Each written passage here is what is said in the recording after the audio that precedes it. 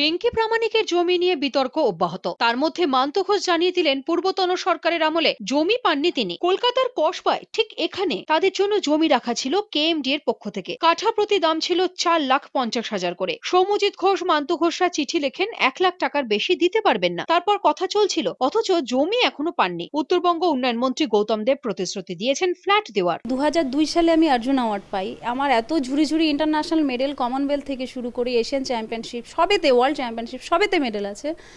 আমি একজন সে কিন্তু কিচ্ছু পাইনি রাজ্য সরকার থেকে।